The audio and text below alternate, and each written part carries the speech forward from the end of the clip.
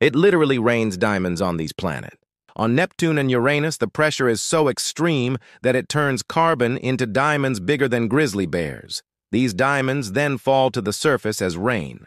But don't get too excited. You can't go there because these planets don't have surfaces. They're made of gas. But here's the real mind blower. Scientists think that this diamond rain is what makes the oceans of distant worlds so deep. Just imagine a storm on an alien planet. It's dark and stormy outside.